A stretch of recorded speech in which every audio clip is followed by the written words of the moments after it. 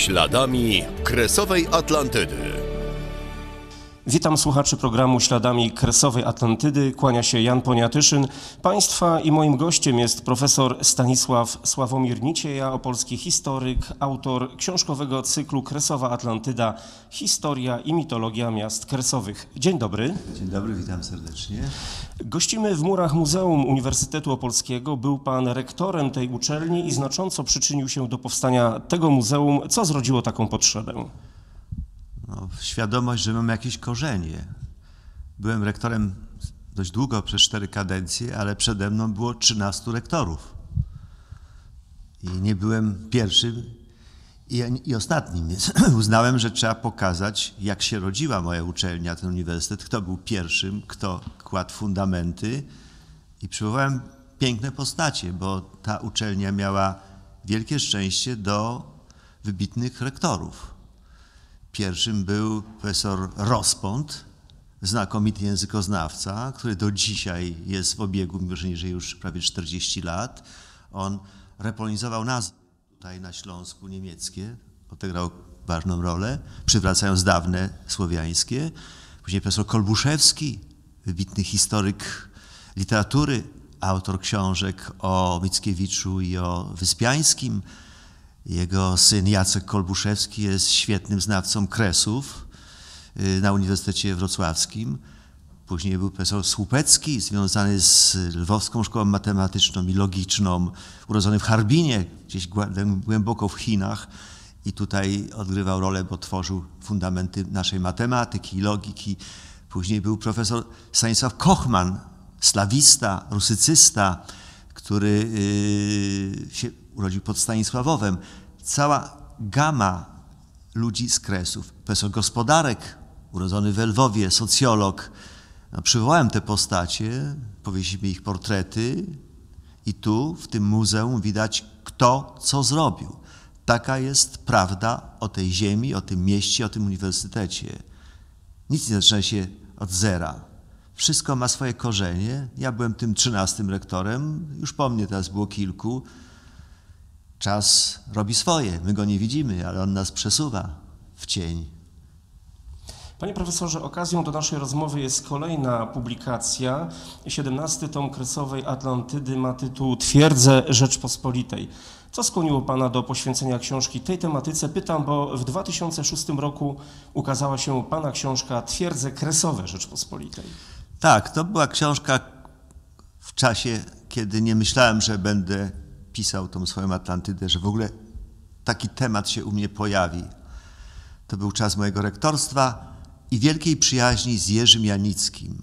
Jerzy Janicki to jest wybitny polski scenarzysta i autor świetnych książek.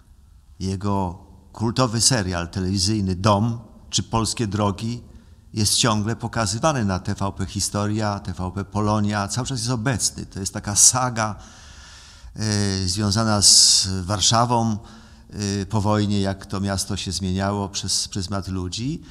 I ja miałem to wielkie szczęście życiowe, że on obdarzył mnie przyjaźnią. On mnie nazwał adoptowanym dzieckiem Lwowa. On, lwowiak z krwi i kości, który kochał to miasto, człowiek powszechnie znany, kiedy napisałem swoją książkę Cmentarz Łyczakowski w Lwowie, a ona była książką przełomową, bo jak napisałem recenzentów, ona przełamała tą tamę milczenia. Ta książka stała się podstawą do zrobienia filmu Dzieje Cmentarza Łyczakowskiego. Sześć odcinków. On jest często też wznawiany. Janicki jest komentatorem i on wprowadził mnie w świat tego wielkiego Lwowa. On się przyjaźnił z Kazimierzem Górskim, z, Andrzej, z Adamem Hanuszkiewiczem. On znał blisko Stanisława Lema. Lwowiaków. Tak, Wojciech, Wojciecha Kilara, Andrzeja Chiolskiego. I ja dzięki niemu mogłem bywać w tych domach. Dudusia Matruszkiewicza, słynnego kompozytora, który wiele piosenek napisał, to był jego też przyjaciel z Lwowa. I wtedy wpadł na pomysł, żebyśmy zrobili historię zamków kresowych. Byłem wtedy nie za bardzo zorientowany. Byłem po studiach historycznych i miałem rozeznanie, co to były te zamki kresowe, ale robiąc scenariusz, no, miałem wielkie problemy i pisząc ten scenariusz, Na marginesie tego scenariusza zrobiłem tą książkę właśnie, którą wydały Iskry. Bardzo ładnie, elegancko wydano ją i ona zrobiła zaskakujący sukces wydawniczy. Po prostu yy, bardzo szybko się rozeszła, trzeba było ją dodrukowywać, ale jak ją dzisiaj patrzę na to, jest płytka.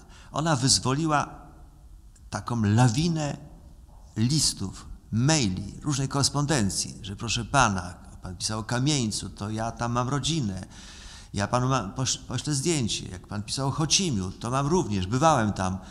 To spowodowało, że moje archiwum opolsko-pępickie pęczniało. Po prostu miałem teczki na temat danej twierdzy i jak dostawałem zdjęcie, fotografię, informacje o ludziach, to wrzucałem do tej teczki, one pęczniały i w końcu przyszedł taki moment, że postanowiłem po nowemu napisać tą książkę. Jak ktoś je porówna, to tutaj jest jedna dziesiąta tego, co jest w tej nowej wersji, która się ukazała przed kilkoma tygodniami.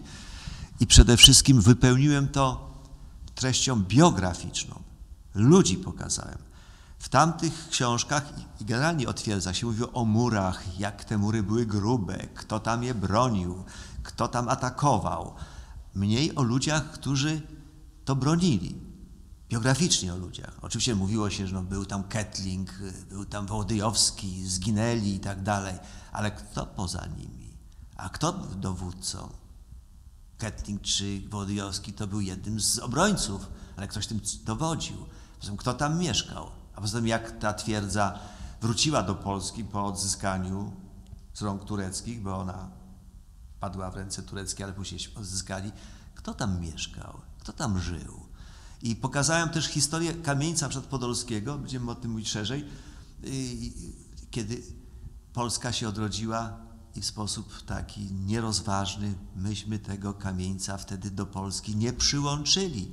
Zostało tam 10 tysięcy Polaków, których Stalin w czasie tak zwanej operacji polskiej no, po prostu wywiózł, zlikwidował, no, zamordował. Więc i te postacie, one tutaj się objawiły przez zdjęcia, przez. Więc to jest zupełnie nowa książka, inaczej napisana, pełna biografii nie tylko tego momentu, kiedy ktoś atakował tą twierdzę, bo później te twierdze straciły rację bytu. No jak już były samoloty, czy to co taka twierdza? Tak leci samolot i już nie ma twierdzy, prawda? Wtedy, kiedy się wojowało mieczem i, i szablą, to zdobyć taką twierdzę to był wyczyn. Dzisiaj żaden wyczyn. Pierwszy rozdział nowej książki zatytułował pan Kamieniec Podolski, bastion graniczny dwóch światów. O znaczeniu twierdzy wspomina m.in. kronikarz Jan Długosz. Skaliste wzgórze, na którym posadowiona jest twierdza, opływa rzeka Smotrycz. Jakie były początki tej warowni? No trudno tego dociec. Badacze i polscy, i ukraińscy, i rosyjscy od lat próbują zrozumieć, kiedy się zaczęło to. Kto tam pierwszy zbudował e, twierdzę. I chyba nigdy nie ustalimy. Na pewno już w czasach rzymskich to miejsce wykorzystywano. Bo to jest absolutny fenomen natury. Bo to, co tam się zdarzyło, to podobna sytuacja była pod Zaleszczykami, ale na płaskim terenie. Natomiast tutaj ta rzeka Smotrycz, która płynie leniwie w kierunku Morza Czarnego, ma się połączyć z Dniestrem, natrafiła na skałę, a wiemy, woda wszędzie miejsce sobie znajdzie, ale nie mogła się przebić. Po prostu przebijając się zrobiła zadziwiającą pętlę. Po prostu poszła kilka kilometrów takim łukiem, szukając, gdzie znajdzie wyjście, żeby pójść tam w kierunku Morza Czarnego. I ta pętla wielokilometrowa ciasno dochodziła do, do, do innego brzegu. Także kiedy zbudowano tam most, tak zwany turecki, to to był jakiś fenomen, że most łączył prawy brzeg rzeki z prawym rzek, rzeki. To jest niewyobrażalne, jak to? Most łączy rzekę prawy z lewym. Jak może z prawym? A ten fenomen, że po prostu to poszło takim strasznym, dużym łukiem i się przecisnęło, spowodowało, że to miejsce niedostępne się stało wyjątkowo, bo to te skały wysokie, takie wielkie jary, ta woda wypłukała tą glinę, która między jarami była, stworzyła taki no, niezwykły niezwykłe miejsce, że, że to, to, to, to nie do zdobycia. I wystarczyło teraz na tych, na tych skałach wulkanicznych postawić baszty, mury i powstawała twierdza, która nie była do zdobycia po prostu. Kilkuset ludzi mogło bronić tej twierdzy skutecznie przez całe miesiące. Tylko problem, czy mają żywność. I się wszyscy o to rozbijali. Teraz był problem, kto tą twierdzę wziął, to kontrolował ten obszar, ten, ten kąt pole, Podola. A to był czas, kiedy bardzo mocno w siłę urósł islam. Turcy, bardzo zdolny naród, bitny naród, oni stworzyli to imperium swoje otomańskie, bardzo sprawne, mieli szczęście do wybitnych sułtanów, wezyrów, znakomitych organizatorów życia społecznego, politycznego, kulturalnego. Wiemy, co zrobili w Stambule, w dawnym Konstantynopolu. To się stała potęga. Europa zaczynała się bać tego. Europa miała swoich przywódców, rozwijała się, powstawały wielkie, wspaniałe miasta jak Wiedeń, jak Berlin i tak dalej, jeszcze głębiej Paryż, ale z drugiej strony ten dawny Konstantynopol, spadkobierca dawnego Imperium y, Rzymskiego, wschodniej jego części, no nabrał takiej dynamiki i islam, która jest, to jest y, religią wojującą, ona założenia, że trzeba tych niewiernych nawracać, no podjęli dużą akcję, żeby tą Europę podporządkować sobie. I tu dochodzi do starcia dwóch wielkich cywilizacji światowych, można powiedzieć, w tym czasie. Islamu i chrześcijaństwa, które mają inne założenia, inne fundamenty, inne symbole i te zderzenie tych dwóch cywilizacji y, tu się zaznaczyło. Islam nacierał. Cały czas te ogromne watachy szły, żeby podbijać te żyzne ziemie, te zabytki, tą kulturę chrześcijańską chciano podporządkować. No, chrześcijaństwo się broniło. I wtedy powstają te właśnie te twierdze tam, na tym cyplu, tuż obok Kamieńca Podolskiego, więc Chocim, okopy Świętej Trójcy. To jest taki bardzo ciekawy zakątek i ta ziemia ciągle zmienia tych swoich panów. Tym bardziej tam jest konglomerat narodowościowy, bo tam są i Mołdawianie, tam są Ormianie, tam jest, są Żydzi, Rusini, polskie rycerstwo, mm, Turcy, Tatarzy. To jest zadziwiający konglomerat różnojęzyczny, różnokulturowy. No i zawsze jest tak, jak jest taka wielokulturowość, to jedna z tych kultur chce zdominować drugą. I na tle tej walki o dominację tą fortecę rozbudowywano. Raz ci, raz tamci. W każdym razie jak zdobył, to je nie zburzył, tylko po prostu dobudował kolejną basztę, kolejne mury. Także tam się nawarstwiają te różne cywilizacyjne obiekty.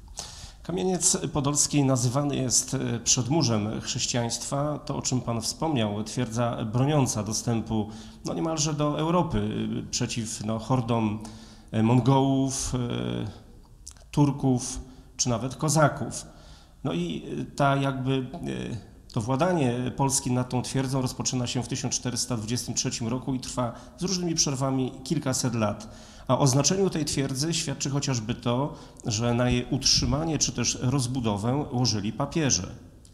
Tak, no papież zdawał sobie sprawę, że jeżeli ta flanka y, pęknie i wleje się tutaj islam, to zagrozi bardzo poważnie chrześcijaństwu i rozumieli, że Rzeczpospolita, która wtedy była mocarstwem, łoży duże pieniądze, no ale król był zawsze sparaliżowany tą wielką szlachecką y, demokracją, która mu przeszkadzała. Nie zawsze mógł łożyć duże pieniądze na to, więc był wspomagany przez poszczególnych papieży i to się odbijało. No i Polska wtedy miała tą opinię y, przedmurza chrześcijańskiego, tej obrony przed tym zalewem islamu. No I taka opinia do dzisiaj jest y, obecna w polskiej historiografii i tam się rozgrywały ważne bitwy, ważne, które y, rozstrzygały o losach tej części Europy. Znaczenie takie militarne twierdzy kamienieckiej jakby odchodzi w przeszłość w sytuacji, w momencie, kiedy dochodzi do Wiktorii Wiedeńskiej w 1683 roku. Jan III Sobieski pokonuje Turków pod Wiedniem i wówczas znaczenie tej y, twierdzy jakby no maleje, jeżeli chodzi o te wartości obronne. Turcy też odgrywają już y, jakby mniejszą rolę, jeżeli chodzi o tą ekspansję terytorialną skierowaną właśnie na y, no, ziemie nazywane przez nas tymi odległymi kresami Rzeczpospolitej. Chciałbym Pana zapytać jeszcze o taką kwestię związaną z popularyzowaniem pewnej mitologii dotyczącej tej twierdzy. My mamy w pamięci oczywiście to, co napisał Henryk Sienkiewicz i tych dwóch bohaterów. No, w panu Włodyjowskim jest to Michał Włodyjowski i Ketling, którzy po oddaniu twierdzy w ręce Turków wysadzają się w tamtejszej prochowni. Na ile jest to mit, a ile w tym jest faktów? No bardzo ciekawy jest wątek, tylko jeszcze powiem, że każda, każde mocarstwo państwo, które ma siłę, ma swoje apogeum. Nie jest tak, że ktoś osiągnął apogeum i rządzi, będzie wiecznie dyktował. Tak teraz mamy Stany Zjednoczone, że ten przyjdzie przesilenie i, i one osłabną. I tak się też działo z Turkami. Oni miały swoje apogeum. Za Sulejmana, za Osmana. Był, byli władcy, którzy naprawdę mogli to rozbudować. I przychodzi też to słabnie. I oni osłabli właśnie kiedy poszli już wtedy na Wiedeń tutaj i kiedy przegrali bitwę pod Wiedniem, w czym bardzo poważny udział miał polski król Jan III Sobieski, co się często przemilcza w zachodniej Europie, musimy to wiedzieć, że się bagatelizuje tą rolę polskiej husarii tam. W każdym razie wtedy Osmanowie słabną, się wycofują. Zdaje się to już prowincjonalne państwo. I od tego momentu te twierdze zaczynają yy, ich tracić na znaczeniu. Tracić na znaczeniu bardzo mocno. A to, co Pan mówi, no ten apogeum, no, geniusz Henryka Sienkiewicza, który miał niezwykły dar opowiadania. Opowiadania takiego filmowego, że jak się go czyta, to się to widzi. Są ludzie, którzy mają zdolność opowiadania, ale zanudzą, zamarudzą on obrazami. I ten fenomen, że on potrafił z jakiejś mieściny zrobić rzecz niebywałą, to jest przykład z baraża. Na płaskim terenie nic nieznacząca miejscowość, on nagle w ogniem mieczem zrobił taką historię tego miejsca, że każdy Polak wierzy, co to jest z baraż. Co, co się tam stało. Tylko Longina podpipięte, to rozbudował, stworzył. I to samo powtórzył tej trzeciej części trylogii w Panu Włodyjowskim. On tam wykreował historię, kiedy potężna armia turecka idzie pod tą nie do zdobycia twierdzę, otacza ją, szturmują ją straszliwy tam desperacją, a ona się broni, broni dość długo, no i wśród nich jest ta historia Wołodyjowskiego i Ketlinga. Wołodyjowski nie jest głównym tam dowódcą, jest jednym z tych, który tam zarządza na tych murach, i, ale ma piękny romans, ma piękną biografię i on tą biografię rozbudowuje. Pokazuje wielką przyjaźń z Ketlingiem, tym Szkotem, pokazuje jego miłość do e, Baśki e, Jezierowskiej, czyli później Włodyjowskiej i jak miał siłę w tej kreacji opowiadania, to nawet naraził się na pewną śmieszność. Bo co się stało? Po prostu mm, on chciał rywalizować, jeżeli chodzi o historię, z Kraszewskim. Kraszewski był historykiem, ale nie miał takiej zdolności opowiadania barwnego. I brał postacie, które są wiarygodne, więc Wołodyjowski jest postacią autentyczną. autentyczną. Nazywał się Jerzy, nie Michał Jerzy. Nawet tam ma symboliczny nagrobek w tym kamieńcu ale wziął mu dziewczynę, którą się zakochał i taki ładny romans stworzył, tą właśnie Basię Jeziorowską, tą właśnie tego hajduczka, młodą dziewczynę. I nie doczytał, nie sprawdził w dokumentach, a to już była leciwa pani. Była pod pięćdziesiątkę, wtedy to było bardzo dużo dla kobiety, dzisiaj to jest mało, ale wtedy, 50 lat, to już była matrona. To był już jej czwarty mąż ten Wołodyjowski. Więcej jak później Wołodyjowski zginął, to ona za piątego wyszła, w ogóle w czasie obrony nie była w tym kamieńcu. I historyk kamieniecki, świetny lekarz, Antoni Rolek, który napisał wiele świetnych reportaży i książek o tych y, podolskich zameczkach, on to ustalił. I, i jest sytuacja, mam tutaj list, cytuję, kiedy nagle opublikował historię tego hajduczka, czyli leciwej pani, która jest y, zmienna w uczuciach i łasa na, na, na, na mężczyzn bogatych. I wtedy Sienkiewicz pisze do wybitnego polonisty, rektora Uniwersytetu Jagiellońskiego, Stanisława Twardo, Stanisława, mm, yy, no uciekłem w tego nazwisko, yy, tego wybitnego historyka, który radzi się, co ja mam robić. Tak ładnie mi się to skomponowało, a tu rolę mnie ośmiesza, że ja wziąłem, pokazałem kobietę 50-letnią i zrobiłem z niej hajduczka. I Tarnowski, bo przyszło mi nazwisko Tarnowski, Wysada Tarnowski mówi, panie Henryku, to jest tak pięknie napisane, tak sugestywnie. Niech pan to zostawi. To jest końcu beletrystyka. Niech będzie legenda, że ta hajduczek, ta właśnie Basia Włodyjowska, którą pięknie zagrała później Magda Zawadzka w filmie Hoffmana, niech to będzie. I to jest taka wielka mitologia. I na temat tej, co jest prawdą e, w historii Włodyjowskiego i Basi Włodyjowskiej i Kamieńca, świetną książkę napisał współczesny historyk związany z naszym uniwersytetem, e, Marceli Kosman. On napisał świetną książkę, wielokrotnie wznawianą, wielo- ogromne nakłady, na tropach bohaterów trylogii. Jak ktoś chce poznać historię prawdziwą tych wszystkich ketlingów i tych, którzy tam w tym yy, kamieńcu działali, to powinien sięgnąć po książkę profesora Macego Kosmana i on tam precyzyjnie wyjaśnia, jak było, co było, gdzie Sienkiewicz prze, przesadził, gdzie dokoloryzował, a gdzie mówi prawdę. Śladami Kresowej Atlantydy.